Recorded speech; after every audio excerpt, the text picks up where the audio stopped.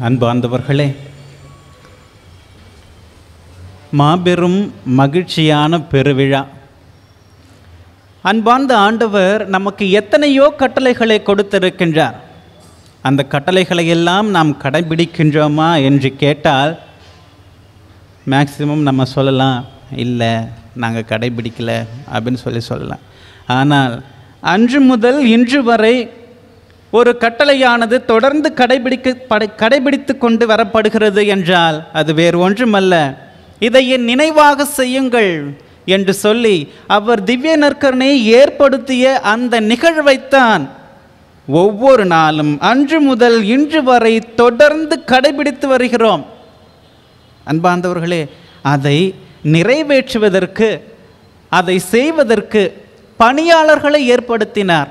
இது இரண்டும் அன்று முதல் இரண் இரண்டும் தொடர்ந்து வந்து கொண்டே இருக்கின்றது. இன்றைய நற்செய்தியிலே நாம் வாசிக்க கேட்டோம். உலகில் வாழ்ந்த தமக்குரியோர் மேல் அன்பு கொண்டிருந்த அவர் அவர்கள் மேல் இறுதி வரையும் அன்பு செலுத்தினார் என்று. இறுதி வரை அன்பு செலுத்தினார். ஒருவர் மற்றவரிடம் அன்பு செலுத்துங்கள் என்னும் புதிய கட்டளையை நான் உங்களுக்கு கொடுக்கிறேன். நான் உங்களிடம் அன்பு செலுத்தியது போல நீங்களும் ஒருவர் மற்றவரிடம் அன்பு செலுத்துங்கள். அன்பார்ந்தவர்களே அவரது அன்பு என்றும் மாறாதது. அந்த அன்பின் ஆழத்தை அகலத்தை உயரத்தை நீளத்தை நம் ஒவ்வொருவர் உள்ளத்திலும் பதிய வைக்கும் பொருட்டு அவர் தன்னுடைய சீடர்களின் பாதங்களை கழுவுகிறார். பாதங்களை கழுவியதோடு நில்லாமல் திவ்ய நற்கருணையை ஏற்படுத்துகின்றார். இந்த அன்பின் செயல் இந்த அற்புதத்தின் செயல் இந்த திவ்ய நற்கரணையை ஏற்படுத்திய அந்த அன்பின் செயலை தொடர்ந்து இந்த உலகிலே நடைபெறும் பொருட்டு பணியாளர்களாகிய எங்களுக்கு அவரது குருத்துவத்திலே பங்கு கொடுக்கின்றார். எங்களை பணியாளர்களாக நியமித்திருக்கின்றார். அன்பாந்தவர்களே இன்றைய நற்செய்தியிலே நாம் வாசிக்க கேட்டோம் தந்தையிடம் செல்வதற்கான நேரம் வந்துவிட்டது என்பதை இயேசு அறிந்திருந்தார் என்று. தந்தையிடம் செல்வதற்கான நேரம் வந்துவிட்டது. என்ன நேரம் வந்துடுச்சு? எல்லாரும் சொல்லுவோம் எனக்கு டைம் ஆச்சு சீக்கிரம் டைம் இல்லை எல்லாம் சொல்லுவோம். ஆனால் யோவான் நற்செய்தி இரண்டாவது அதிகாரத்திலே அம்மா எனது நேரம் இன்னும் வரவில்லை என்று குறிப்பிடுகின்றார். அனைவரும் அவர் மீது கல்லெறிய கற்களை எடுக்கின்றார்கள். அவர் நேரம் இன்னும் வராததால் அவர்களால் கல்லெறிய முடியவில்லை. அனைவரும் அவரை பீத்து பி பிடிப்பதற்காக ஒன்றாக சேருகிறார்கள். அவரது நேரம் இன்னும் வராதலா வராததால் அவரை அவர்களால் பிடிக்க முடியவில்லை. ஆனால் இன்றைய நற்செய்தியிலே நாம் வாசிக்க கேட்டோம் தந்தையிடம் செல்வதற்கான நேரம் வந்துவிட்டது என்பதை இயேசு அறிந்திருந்தார். தந்தையே நேரம் வந்துவிட்டது. உம் மகன் உம்மை மாட்சிப்படுத்துமாறு நீரும் மகனை மாட்சிப்படுத்தும் என்று ஜெபிக்கின்றார். அவரது நேரம் என்பது என்ன? எந்த நேரத்தை பற்றி இயேசு கிறிஸ்து இவ்வாறு குறிப்பிடுகின்றார்? என்றால் வேறு ஒன்றுமல்ல தந்தையின் கட்டளைக்கு தன்னை உட்படுத்தி பாடுகளை ஏற்றுக்கொண்டு இறந்து உயிர்த்தெழுந்து தந்தையின் வலப்பக்கத்தில் வீற்றிருக்கின்ற அந்த நேரம்தான். தன்னை உட்படுத்துகின்ற நேரம் தன்னை கீழ்ப்படுகின்ற நேரம் தன்னை முழுவதும் கையளிக்கின்ற அந்த நேரம். அதை அவர் எப்படி செய்தார் தெரியுமா? விண்ணகத்திலிருந்து இறங்கி வந்த வாழ்வு தரும் உணவு நானே. இது எவராவது உண்டால் அவர் என்றுமே வாழ்வார். என்று குறிப்பிடுகின்றார். எனது சதை உண்மையான உணவு எனது ரத்தம் உண்மையான பானம் இதை எவராவது உண்டால் அவர் என்றுமே வாழ்வார். இதை நான் உலகு வாழ்வதற்காக கொடுக்கிறேன் என்று இயம்புகிறார் என்று எடுத்துரைக்கின்றார். இதை கேட்ட பலர் இதை ஏற்றுக்கொள்வது மிக கடினம் இதை ஏற்றுக்கொள்வது மிக கடினம் என்று சொல்லி இதை இன்னும் கேட்டுக்கொண்டிருக்க முடியுமா? என்று சொல்லி அன்றே இயேசு கிறிஸ்துவை விட்டு பல சீடர்கள் விலகி செல்லுகிறார்கள். அப்பொழுது உள்ளம் கலங்கி உள்ளம் குமுறி பேத சீடர்களை பார்த்து நீங்களும் போய்விட நினைக்கிறீர்களா? நீங்களும் போய்விட நினைக்கிறீர்களா? என்ற கேள்வியை கேட்கிறார் பேதரு. ஆண்டவரே நாங்கள் யாரிடம் போவோம்? நிலை வாழ்வு தரும் வார்த்தைகள் உம்மிடம்தானே உள்ளன? நிலை வாழ்வு தரும் வார்த்தைகள் உம்மிடம்தானே என்று உள்ளன என்ற வார்த்தையை உதிக்கின்றார். அந்த அதை போலவே நாமும் ஆண்டவரே நாங்கள் யாரிடம் போவோம்? எங்களுக்கு வேறு யார் இருக்கின்றார்? நிலை வாழ்வு தரும் வார்த்தைகள் வாழ்வு தரும் வார்த்தைகள் வாழ்வின் வார்த்தைகள் உம்மிடம்தான் இருக்கின்றன என்று சொல்லி ஆண்டவர் மீது நம்பிக்கை கொண்டு அவரிடம் வந்திருக்கின்றோம். அப்படி நம்பிக்கையின் அடிப்படையில் நாம் அனைவருமே யார்? பழைய ஏற்பாட்டிலும் சரி புதிய ஏற்பாட்டிலும் சரி நம்பிக்கை கொண்டிருக்கின்றவர்கள் கடவுள் மீது நம்பிக்கை கொண்டிருக்கிறவர்கள் யார் என்றால் அவர்கள்தான் அரச குருகுல குரு குருகுல கூட்டத்தினர். அவர்கள்தான் குருக்கள். அவர்கள்தான் குருக்கள். இதை நாம் விடுதலை பயணம் பத்தொன்பதாவது அதிகாரத்திலே தெளிவாக பத்தொன்பதாவது அதிகாரம் ஆறாவது வசனத்திலே தெளிவாக வாசிக்க முடியும். நீங்கள் எனக்கு நீங்கள் குருத்துவ அரசராகவும் தூய மக்களினமாகவும் இருப்பீர்கள் என்றும் ஒன்று பேதிரு இரண்டாவது அதிகாரம் ஐந்தாவது வசனம் தொட்டு இயேசு கிறிஸ்துவின் வழியாய் கடவுளுக்கு உகந்த ஆவிக்குரிய பலிகளை படைக்கும் தூய குருக்களின் கூட்டமாகவும் இருப்பீர்களாக.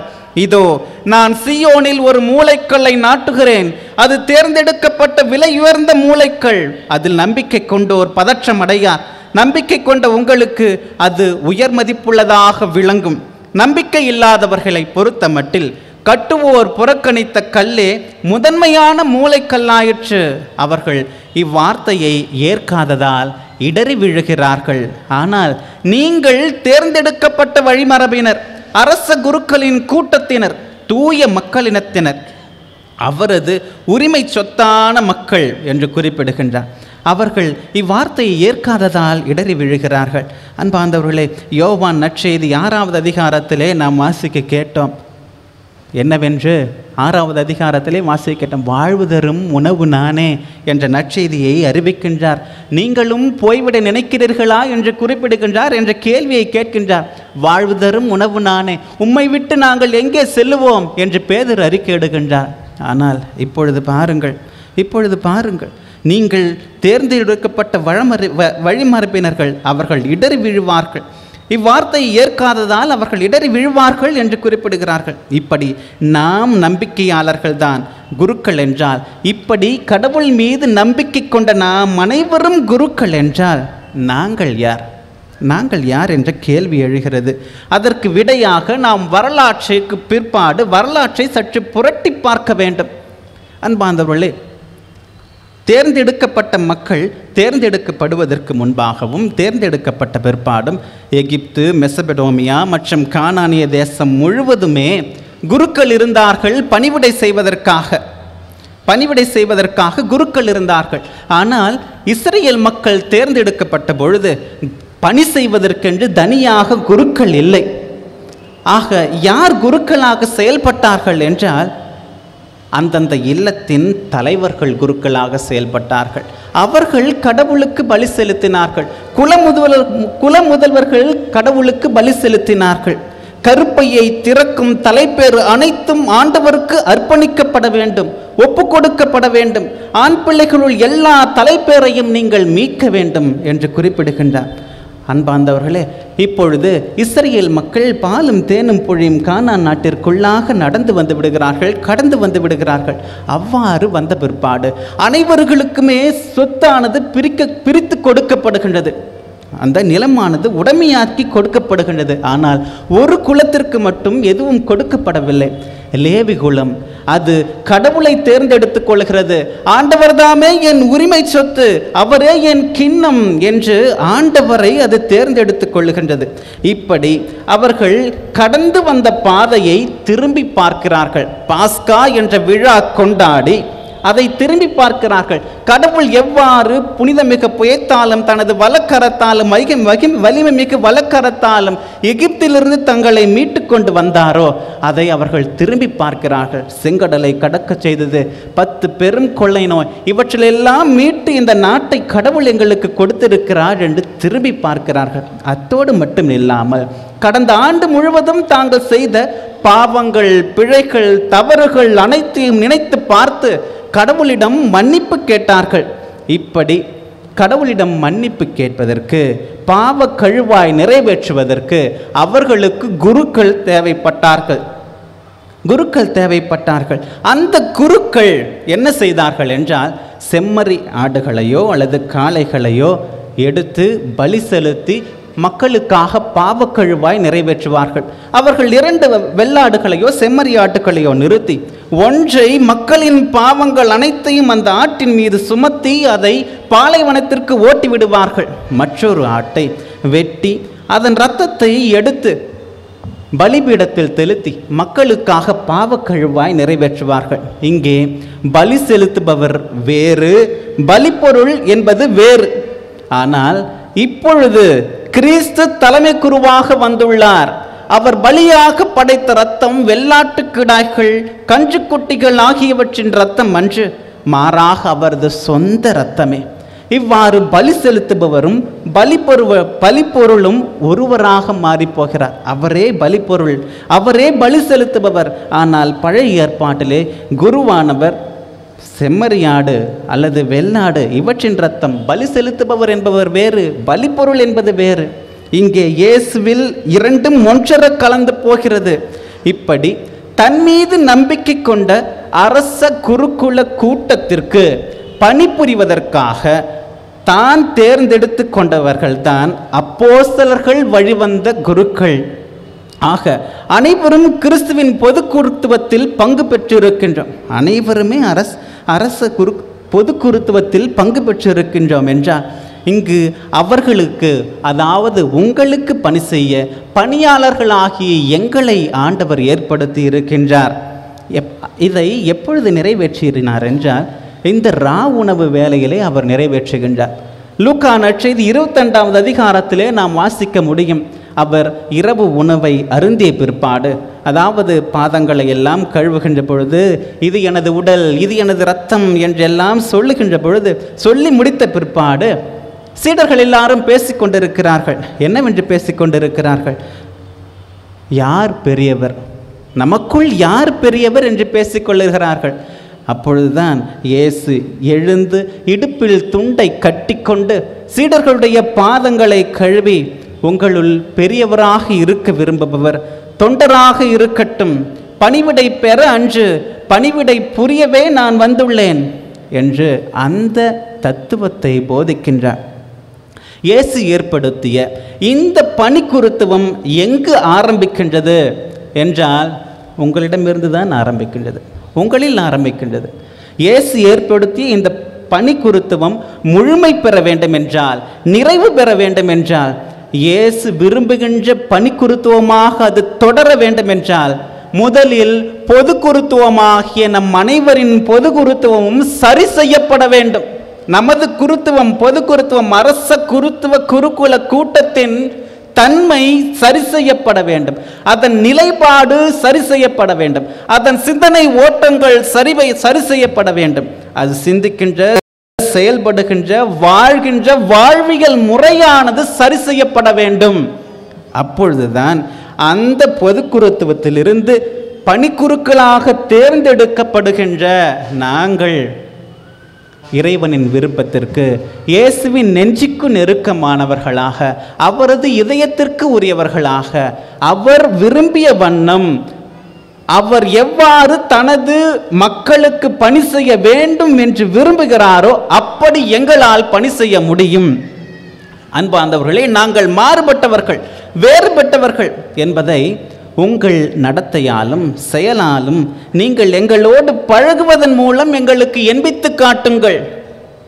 ஆ எப்படி அதை எண்பித்து காட்டுவது? கார் பணம் வச்சிருக்கிறவங்க அல்லது பெரிய பெரிய ஸ்கூலில் இருக்கிறவங்க பெரிய பெரிய பங்கில் இருக்கிறவங்க இந்த குருக்கள் இப்படிப்பட்ட குருக்கள் இவர்களுக்கு நாம் மிகுந்த மதிப்பும் மரியாதையும் செலுத்துகின்றோம் வணக்கங்களை செலுத்துகின்றோம். ஏனென்றால் அவர் பெரியவர் பணம் இருக்குது பதவியில் இருக்கிறார். எனவே அவர்கிட்ட நாம் ரிலேஷன்ஷிப்பில் அல்லது நல்ல பழக்கத்தில் இருந்தால் நமக்கு சலுகைகள் கிடைக்கும் வேலைகளில் இடம் கிடைக்கும். அவர்கிட்ட ஏதாவது சொன்ன கேட்டால் நம்மளுக்கு செஞ்சு கொடுப்பார். நம்மளுக்கு சர்டிஃபிகேட்ஸ் நம்மளுக்கு போகிற இடங்களெல்லாம் சலுகைகள் கிடைக்கும் என்று நமது எண்ண ஓட்டங்கள் அப்படி இருக்கின்றது. மாறாக நமது எண்ண ஓட்டம் எப்படி இருக்க வேண்டும் என்றால் இப்படி இருக்க வேண்டும். அவர் பக்தியில் இருக்கின்றாரா? அவர் பக்தியில் இல்லை என்றால் நாம் அவரை பக்தியில் வளர்ப்பதற்கு என்ன முயற்சிகளை எடுக்கின்றோம்? பக்தியில் இருக்கின்ற குருக்களுக்கு மதிப்பளிக்கின்றோமா? அல்லது பணமும் பதவியும் இருக்கின்ற குருக்களுக்கு மதிப்பளிக்கின்றோமா என்றால் பணமும் பதவியும் அதிகம் இருக்கின்ற குருக்களுக்கு தான் நாம் மதிப்பளிக்கின்றோம். இல்லை என்றால் அவ்வாறு இல்லை என்றால் நாமே என்ன செய்கின்றோம் என்றால் குருக்களுக்கு பணத்தை கொடுக்கின்றோம். கார் வாங்கி கொடுக்குறோம் நகை வாங்கி கொடுக்குறோம். ஏன்? வீடு நிலம் கூட வாங்கி கொடுக்குறோம். ஏனென்றால் நாம் மறந்து விடுகிறோம் ஒன்றை. அவர்கள் உலகப் போக்கிலான கண்ணோட்டத்தோடு நாமும் நாம் அனைவரும் உலகப் போக்கிலான கண்ணோட்டத்தோடு நாமும் குருக்களை நோக்குகின்றோம். நாமும் குருக்களை நோக்குகின்றோம். நாங்கள் வேறுபட்டவர்கள் உலகிலிருந்து வேறுபட்டவர்கள் தனிப்பட்டவர்கள் என்பதை மறந்து ஏனென்றால் தங்கள் பொது குருத்துவத்தின் மேன்மையை மறந்து விட்டதுதான் காரணம். தங்கள் பொது குருத்துவத்தின் மேன்மையை மறந்துவிட்டு அதனால்தான் இவர்கள் இவ்வாறு குருக்களை சிந்திக்கின்றார்கள். இவ்வாறு குது குருக்களை மாற்றுகின்றார்கள். பொது குருத்துவத்தின் மேன்மை அதை மறந்து விடுகிறார்கள் பத்தில் ஒரு பங்கை கொடுக்க வேண்டும் என்று திருவிவிலியத்திலே இருக்கின்றது. பத்தில் ஒரு பங்கை கொடுக்க வேண்டும் என்று இருக்குது. எனவே நாங்கள் குருக்களுக்கு கொடுக்கிறோம் என்று சொல்லுவீர்கள். ஆம் சரிதான். அதை நாம் தெளிவாக பழைய ஏற்பாட்டிலே பார்க்க வேண்டும். அவர்கள் ஆண்டவரே என் உரிமை சொத்து என்று ஆண்டவரை தேர்ந்தெடுத்துக் கொள்கிறார்கள் அவர்களுக்கு நிலம் அல்ல சொத்துக்கள் அல்ல. ஆண்டவர் என் உரிமை சொத்து என்று தேர்ந்தெடுத்துக் கொள்கிறார்கள் எனவே மக்கள் தங்கள் விளைச்சலிலிருந்து பத்தில் ஒரு பங்கை அவர்களுக்கு கொடுத்தார்கள். ஏனென்றால் அவர்கள் வாழ வேண்டும். அவர்கள் வாழ வேண்டும் என்பதற்காக அவர்கள் வாழ்வை காப்பாற்றுவதற்காக கொடுத்தார்கள். அதே போல குருக்களின் வாழ்வை நீங்கள் ஒவ்வொருவருமே காக்க வேண்டும். எதற்காக காக்க வேண்டும்? ஏன் காக்க வேண்டும் என்றால் அவர்களுடைய ஞானமும் வழிகாட்டுதலும் உங்களுக்கு தேவை என்பதற்காக. பணிக்குருத்துவத்தின் மேன்மை பொது குருத்துவத்தில் தான் அடங்கி குடும்பங்களில் இருந்து தான் நாங்கள் அனைவரும் வருகின்றோம். குடும்பத்திலிருந்து பிறந்து குடும்பத்திலிருந்து வளர்ந்து வருகின்றோம். எனவே குடும்பம் எப்படி இருக்க வேண்டும்? ஒரு குரு நல்லவராக கடவுளின் நெஞ்சத்திற்கு நெருக்கமானவராக அவரது இதயத்தின் விருப்பத்தை நிறைவேற்றுபவராக இருக்க வேண்டும் என்றால் அது யார் கையில் இருக்கிறது என்றால் உங்கள் ஒவ்வொருவரின் கையிலும் இருக்கின்றது. எனவே குடும்பம் எப்படி இருக்க வேண்டும்? பொது குருத்துவம் எப்படி இருக்க வேண்டும்? கடவுளின் அரச குருக்குல குரு குருக்குல கூட்டமாகிய நீங்கள் எப்படி இருக்க வேண்டும் என்றால் கடவுளின் கட்டளைகளை கடைபிடிப்பவராக இருக்க வேண்டும். குடும்ப ஜெபம் சொல்லுங்க. பிள்ளைகளோடு சேர்ந்து உட்காந்து ஜெபம் சொல்லுங்க. கோயிலுக்கு கூட்டு வந்து ஜெபத்தை சொல்லிக் கொடுக்க கற்றுக் கொடுங்க. வீட்டில் பிள்ளைகளுக்கு முன்பாக சண்டை அடிச்சுக்காதீங்க. கெட்ட வார்த்தைகளை பேசிக்கொள்ளாதீர்கள். திட்டிக்கொள்ளாதீர்கள். ஒருவரோடு பேசாமல் இருக்காதீர்கள். இதையெல்லாம் நாம் செய்து கொண்டிருக்கின்றோம். பிறகு அங்கிருந்து வருகின்ற குருக்கள் எப்படி இருப்பார்கள்? முதலில் நமது பொது குருத்துவத்தை சரி செய்து கொள்வோம். அவ்வாறு சரி செய்து கொண்டால் அங்கிருந்து வருகின்ற குருக்கள் நீங்கள் விரும்புகின்ற வண்ணம் இயேசு கிறிஸ்து விரும்புகின்ற வண்ணம் அவரது நெஞ்சத்திற்கு இதமாக விருப்பத்திற்கு இணங்க அவர்களும் பணி செய்வார்கள். அவர்கள் பணி செய்ய நீங்களும் உதவி செய்யுங்கள். நாங்கள் பணி செய்ய நீங்கள் எங்களுக்கு உதவி செய்யுங்கள். எங்களுக்காகவும் ஜெபியுங்கள். உங்களுக்கு பணி செய்ய நாங்களும் இருக்கின்றோம். எனவே அனைவரும் ஒன்றாக சேர்ந்து குடும்பங் குடும்ப ஜெபம் செய்வோம். ஒவ்வொரு நாளும் அன்பாக இருப்போம். பாசமாக இருப்போம். வெறுப்புகளை களைவோம். நமது பிரச்சனைகளை தீர்த்து கொள்வோம். அன்று இரவோடு எல்லா பிரச்சனைகளையும் தீர்த்து கொள்வோம். அன்பு கட்டளையாகிய திருப்பலியிலே பங்கெடுப்போம். ஏனென்றால் அட்லீஸ்ட் நான் இந்த கட்டளையாவது நான் என் வாழ்நாளில் தொடர்ந்து கடைபிடித்தேன் என்று நம்மால் சொல்ல முடியுமா?